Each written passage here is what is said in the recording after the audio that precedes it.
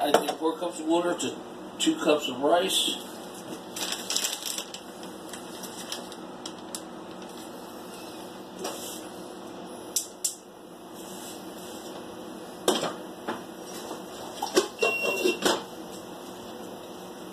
Uh, oh, refrigerator, pick a pin? Yeah, it's okay.